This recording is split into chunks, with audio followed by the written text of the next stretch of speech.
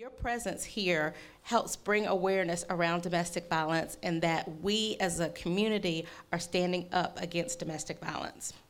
We want to start with the invocation, and so I want to invite Dr. Cynthia Walters, who is the Associate Minister of Zion Baptist Church, to start us off with invocation. This is the day the Lord has made. We will rejoice and be glad in it. Let us pray. Our God and our Father, today we stand against all types of domestic violence and abuse within families. We bind every evil spirit associated with dreadful condition. We pray that any and everything that destroys a person's self respect, self worth, and confidence and leaves them with feelings of low self esteem and depression be removed today in the name of Jesus and replaced with courage. Lord, I pray for the many people who live in darkness as a result of this abusive relationship.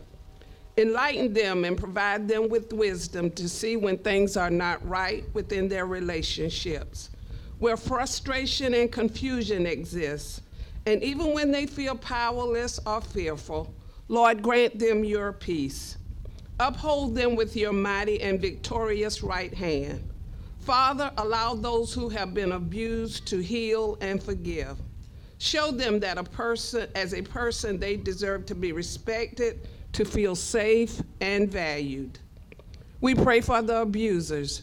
Heavenly Father, have your way with them so they, they will not have the desire to control and manipulate others. Lead them to your word, where they will be purified and made right in your side, sight. Embed them with your word in their hearts so that they will live in harmony and have perfect and constant peace within themselves and turn and in turn with their partners. Now, Lord, I ask that you bless the leaders of this walk. Restore to them in abundance all they have given to make this walk successful. Provide safety for those who will walk, and let no harm or danger come near them. Lord, we thank you right now for being our God, and we ask that your will be done on earth as it is in heaven. In the name of Jesus, we pray. Amen Amen and amen. Every year when we do this walk, uh, I always get asked, why do we do it as a free walk? There's lots of walks throughout the community uh, that, that, charge a registration fee. And we always say we don't want to uh, have any impediments for people participating, and that's why we don't do a registration fee we, we think having opportunity to just understand um, how we all can play a role in domestic and combating domestic violence in our community and bring awareness around the resources that are out there are enough. When we talk about resources that are out there, um, our community is blessed because uh, South Carolina has a statewide organization, the South Carolina Coalition Against Domestic Violence and Sexual Assault. Um, many people call it SCADVASA, that's run by Sarah Barber. And then we also, in this community, the Midlands, have an amazing, amazing um, resource in Sister Care.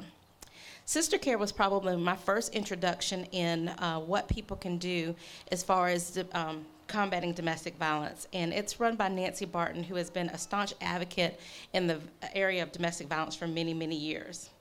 So it's my pleasure to present both of these ladies and their organizations with a proclamation. And I want to just read it uh, for you. Whereas we recognize that domestic violence is a problem that plagues our community and our neighborhoods. And whereas South Carolina was ranked in the top five states in the nation for the rate of women killed by men, according to the recent statistics released from the Violence Policy Center's report on homicide data. And whereas females ages 18 to 34 generally experience the highest rates of intimate partner violence, and whereas men who, as children, witnessed their parents' domestic violence are twice as likely to abuse their own wives than sons of nonviolent parents. And whereas domestic violence is the leading cause of injury to women, more than car accidents, muggings, and rapes combined, and whereas the City of Columbia recognizes the commitment of Sister Care and SCADVASA to provide life saving resources to domestic violence victims and their families. Now, therefore, on behalf of the Mayor, Stephen K. Benjamin, Mayor of the City of Columbia, along with all the members of Columbia City Council, we do hereby proclaim October 2019 as Domestic Violence Month in the City of Columbia, and we urge all of our citizens to recognize and participate in its observance. So Sarah and Nancy, would you come forward, please?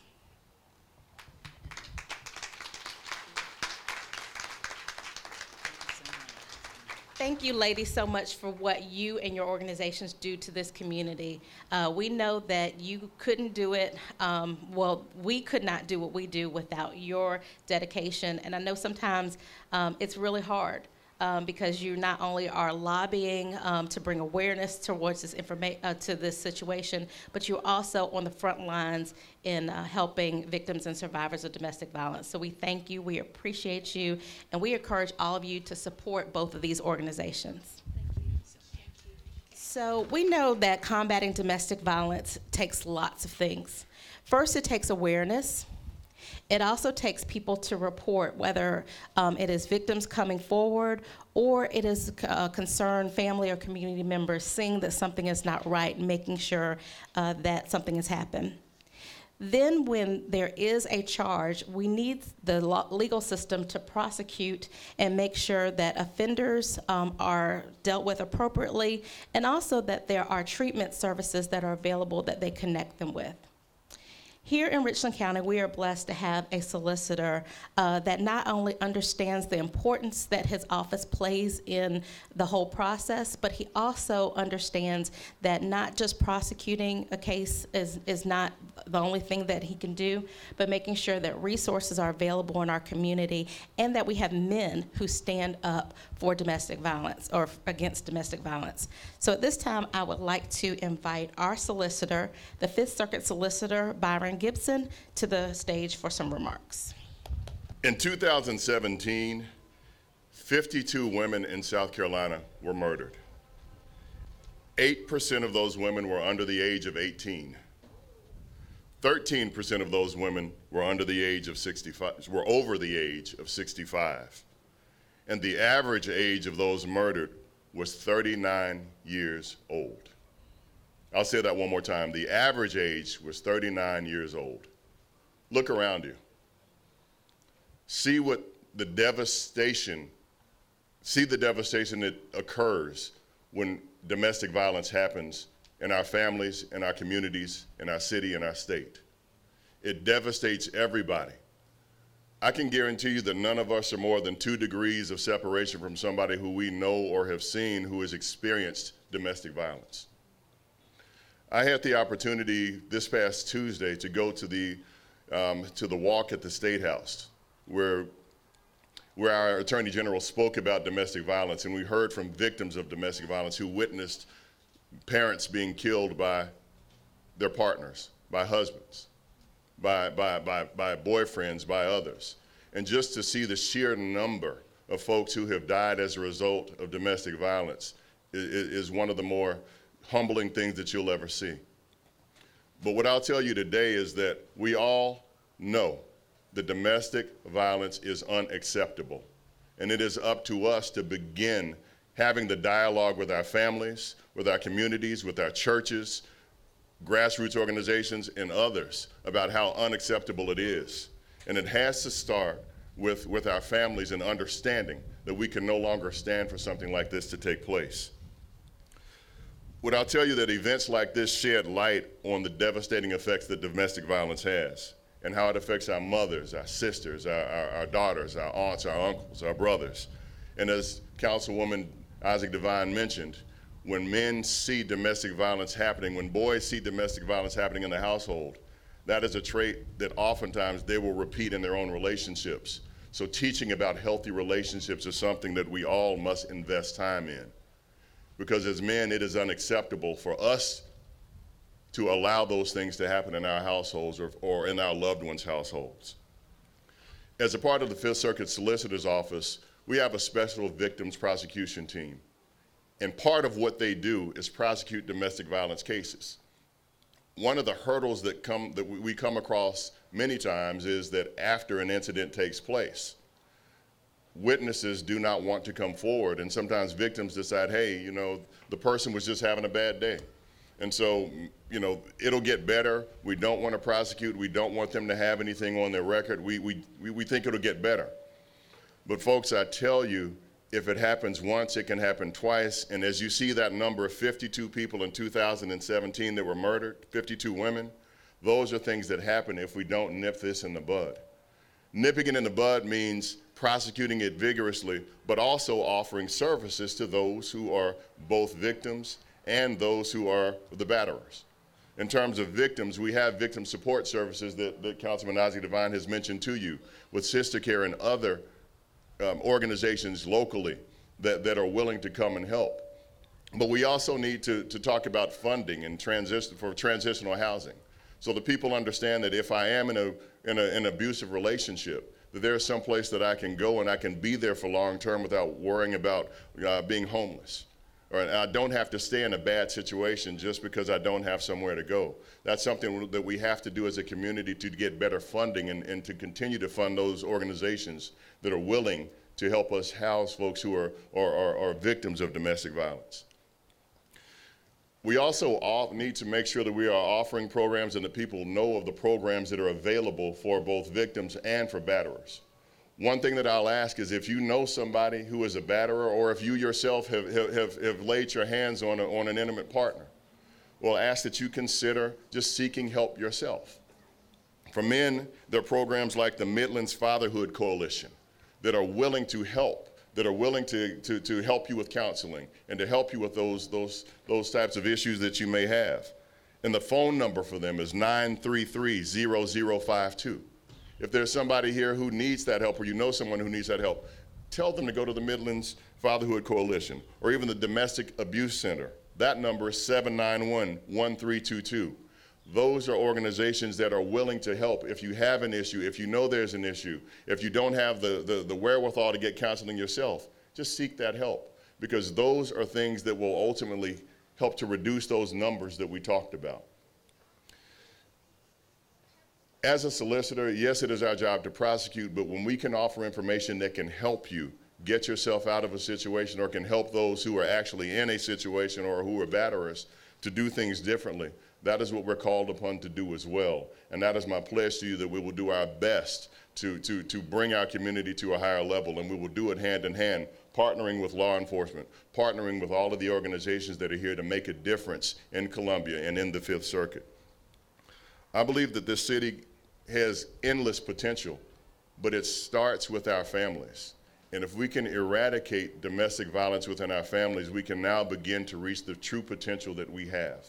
So stand with me and stand with all of the folks who are here on the stage today with combating domestic violence and finding help for those who need it so that we can reach the potential that we truly have. Thank you. Probably one of my first um, introductions to really working with the city of Columbia before I was elected was as a prosecutor who did domestic violence cases for the state attorney general's office. We train law enforcement officers throughout the state um, on domestic violence, how to handle calls, how to make sure that they know what to say to victims um, and perpetrators, how to make sure you're prosecuting those cases, how to make sure that you are getting the evidence necessary to prosecute those cases. And although that was almost 20 years ago, I will tell you that um, it had a lasting impact on me because a lot of times we would go to law enforcement agencies throughout this state and we were met with a lot of resistance. We were let, met with a lot of people who, who were responding to these cases who blamed victims and did not want to uh, treat those cases like a crime, like any other crime that they would be responding to. Um, it was very sobering to understand as I went into the city of Columbia and did trainings that not only did we need leadership at the top who understood, um, but once we had leadership at the top, it would go down um, throughout the ranks, and that we certainly would be responding to domestic violence cases in the appropriate manner. I am so honored to say that we have that leader at the City of Columbia Police Department. Um, I tell people all the time I am president of the Skip Holbrook fan club because I think that we have an amazing, amazing police chief, not only who understands uh, what his law enforcement officers need to be doing and being educated, but also he is so open to um, concern, criticism, comments um, because he always wants to make sure that his officers and his department is doing better. In the last couple of years, not only have they been doing things internally, but they've also reached out and partnered, like with Richland One, and they have um, where if we heard before when children are in abusive homes and there might be something happening at night. Most people don't understand that that child goes to school that next day, and you see that child acting out, and people see a bad child. But what they should see is what is going on. There might be something that happened um, that is causing this child to act out. So, City of Columbia Police Department has been doing that, and they have made sure that they have resources to um, uh, to address adverse childhood experiences and make sure that, as working together with the school districts, that those children have the resources, community resources necessary. Um, so, I could go on and on about how amazing this man is, but I'm going to stop and I'm going to invite uh, uh, Chief Skip Holbrook for a few remarks. Um, I hope you all were as encouraged as I was to um, listen to what our solicitor had to say. Um, I can tell you that it's been incredibly refreshing and encouraging to see um, his leadership in, in the short time that he's been in the solicitor's office. Um, we've, we've seen a uh, profound culture change, um, and um, it's just been a tremendous relationship from the very beginning. So uh, thank you for what you're doing and what you will be doing. So good morning. So let, let me first say the you know, budgets are tight. The police department did the upgrade this morning for um, the temperature. Uh, we, we had them lower the temperature. Um, we asked the fire department to uh, contribute to for the upgrade for the um, sunshine. They failed. Okay. Um, it, it is. It feels great out here. Hopefully, the rain's going to hold off so we can have a, um, a great walk together. But you know, w- what I would say simply is we've got work to do. We know we have work to do, and um, this has been a, an incredible week. Um, I, I- we had the uh, silent witness um, event at the State House. Um, we had an event at, at Brooklyn, and at the, those events, what you know, obviously, it brings awareness to this incredibly important, um, important um, cause. Um, we've s- heard from courageous survivors. Um, we we know there are survivors amongst us today. We also know that there are folks that are in abusive relationships, and we hope that one thing that you take away from today is um, there is hope. That there are people to um, stand with you, encourage you, um, help you get out of that situation. We know we have to get better. Uh, we know we have work to do at the police department. Um, I, I'll, I'll tell you, I was greeted this morning by a survivor that was um, not um, where she needed to be with how the police handled her situation, and we talked about that. And that's important that we know that we have to get better. We've got incredible victim advocates here today, and our special victims unit. Um, they do a, an incredibly tough job, um, but I hear time and time again just how special our, our, our advocates are and how important they have been in somebody's very difficult situation. Um, I'm, I'm very pleased. I see a lot of friendly faces uh, in the audience um, that I know have overcome some difficult circumstances, and I know there's plenty of people out out there that I have not had the pleasure of, of meeting, and I hope I do meet you. Um, I look forward to standing with you today and walking with you today, um, and I am always open and ready to be at your side to help you overcome a difficult situation and get out of an abusive relationship. Thank you again. Have a, have a good day. Good morning, everyone, and thank you to both um, Chief Holbrook and Solicitor Gipson and to Councilwoman Tameika Design, Devine for the work that they do to keep awareness and response to these crimes in our city so on target. Um, I always read my remarks. It's an, an introvert um, thing. So, um, this is the fourth year I've spoken at this event, and the fourth year that I try to think of ways to say the same thing differently. It's hard to do this, and it's frustrating because I know I'm speaking to the people who care, the people who know, the people for whom my words affirm their knowledge and their experience. But I have to ask, where is everyone else? Every October for Domestic Violence Awareness Month, we gather to remember the dead, those who have been killed by abusive partners during the previous year.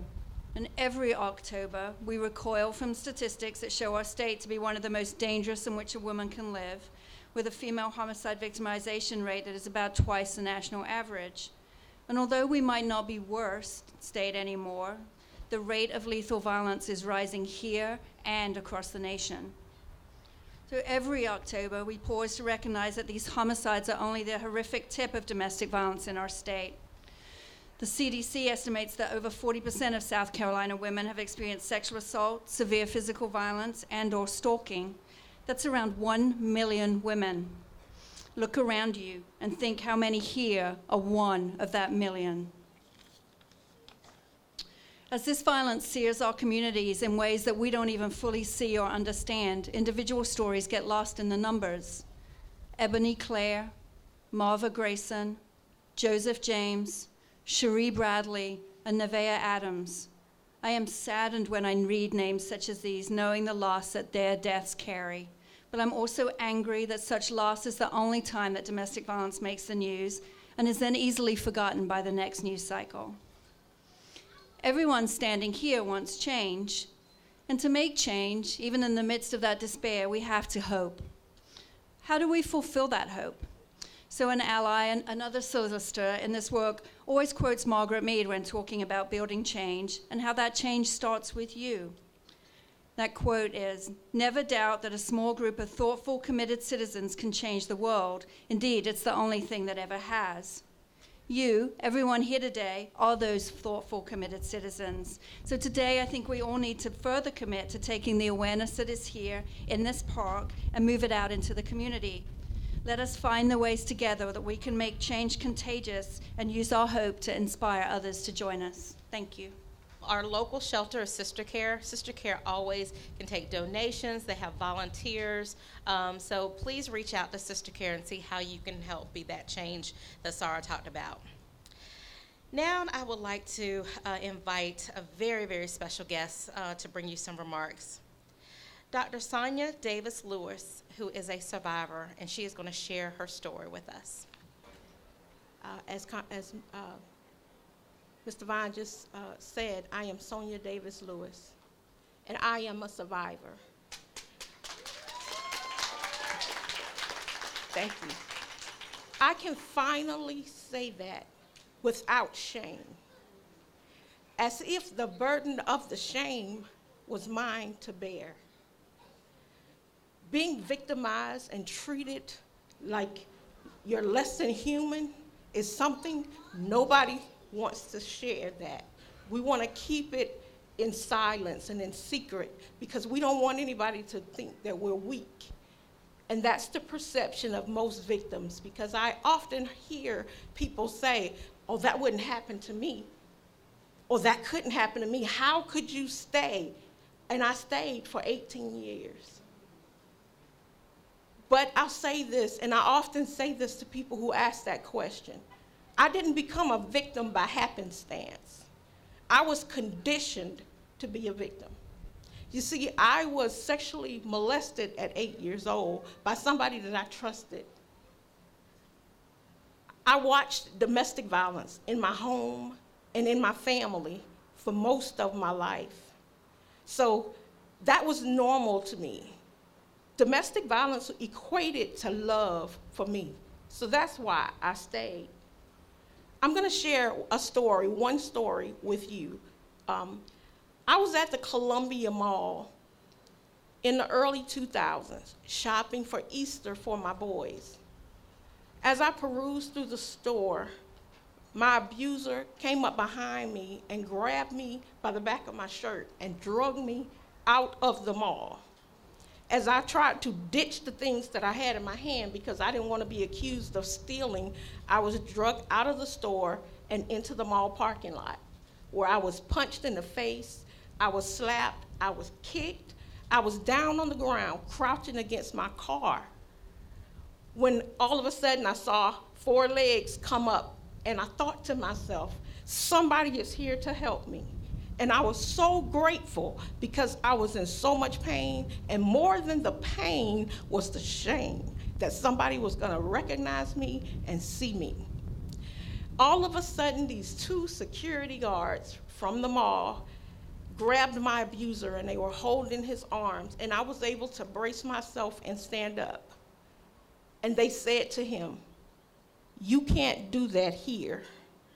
You have to take her home to do that.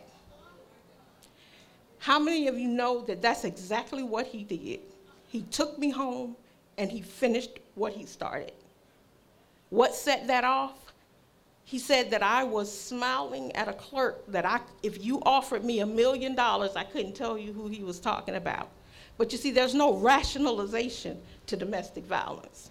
It's as, off, it's as if they all read from the same book because the behaviors are all the same.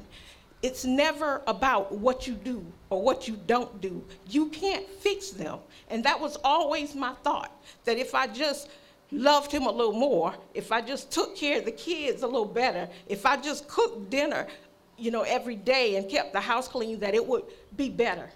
But in 18 years, it never got better. I went to work every day, black eyes and bruises. My coworkers made fun of me. They laughed, they told jokes. When I walked in the cafeteria, I was the butt of jokes. But I made it through all of that because when I was in grad school, one night I was leaving class and see I had to rush home because he knew what time I got out of class and he knew how long it took me to drive from the camp- campus of Webster University to my home up in the summit. So I was uh, hesitant when my uh, instructor asked me to stay after class because she wanted to talk to me. So I was rushing to get out, and there was somebody else taking her time and talking to her, and I went to walk past her, and all she did was slip me something in my hand. And I took it and went to my car, and when I got there, it was a card that said Sister Care. The very next Saturday morning, I was punched in the face because I wanted to go to a soccer game for my goddaughter. And I took that opportunity to take that card that I had hidden away in my book bag, and I contacted Sister Care. And they helped me. She helped me develop a safety plan so that I could leave. She went to court with me so that I could get my restraining order. And I'm so thankful for organizations like Sister Care and the Sheriff's Department. They gave me an advocate and they stood with me. And people think I'm 15 years removed from my domestic violence. 15 years a survivor, but it's not over. It's not over. I battle every day.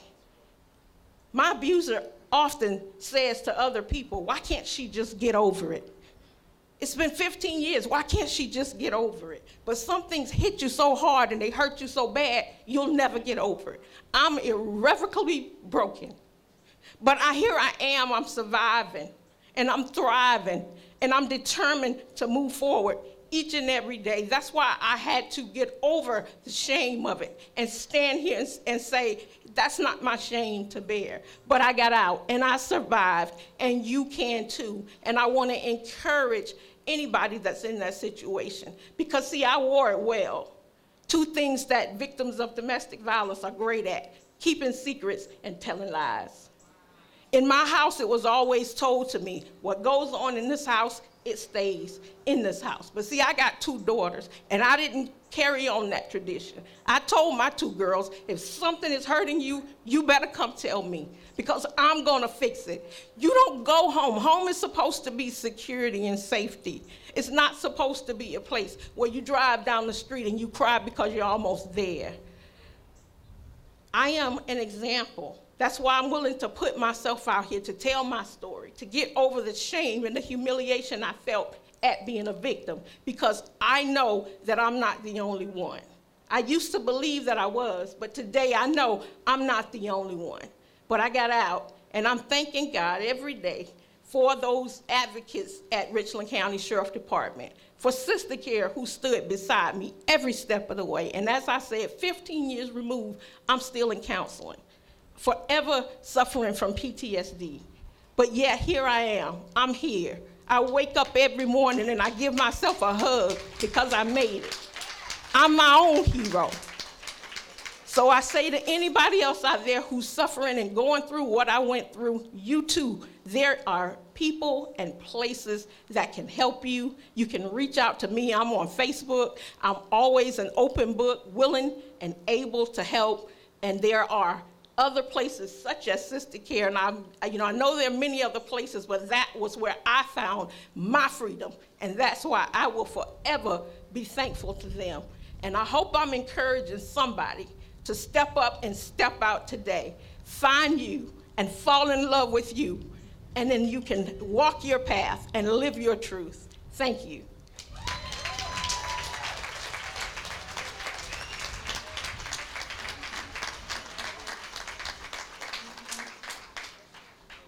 You, Sonia, so much for sharing. That was that was that was a blessing to us, and thank you.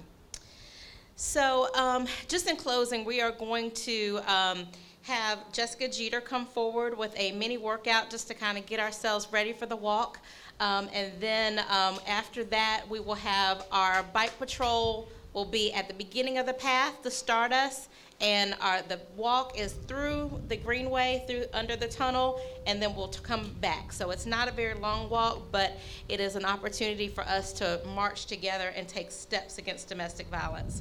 I would like to thank all of you again for being here. Um, encourage you guys to uh, continue to stand out and s- speak out against domestic violence.